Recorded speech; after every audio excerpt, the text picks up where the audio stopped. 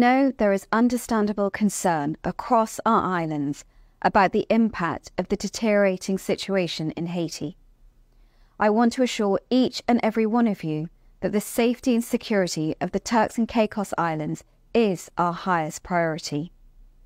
In partnership with international and regional agencies, we have mounted a full force air, sea, and land enforcement effort to tackle the threats we face from irregular migration and organised crime.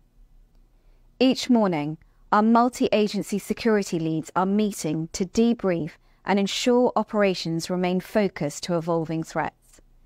In the last two weeks, there have been 18 arrests relating to serious crime, and this morning, the acting commissioner confirmed a dedicated robbery policing team is being set up to provide focused investigative and policing capability on this front.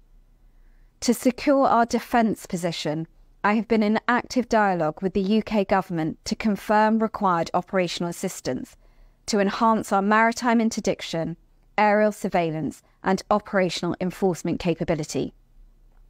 The UK Foreign Secretary has confirmed the Turks and Caicos Islands is the priority for the UK Government.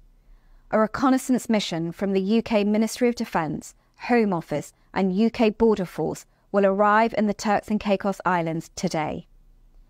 The Honourable Premier, Honourable Minister of Immigration, and I spoke to the Minister of the Overseas Territories, David Rutley, yesterday and have secured agreement for an additional marine patrol craft for the Turks and Caicos Islands.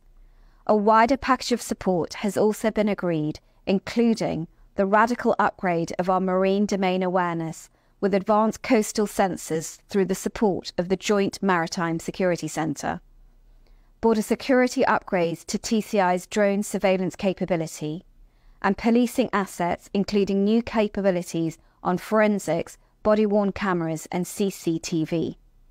Such assistance will not only strengthen but provide a critical step change to our response efforts to secure the safety and security of our islands. We remain focused and determined in our efforts to interdict disrupt, and dismantle the threats we face. May God bless you, and may God bless our beautiful by nature islands.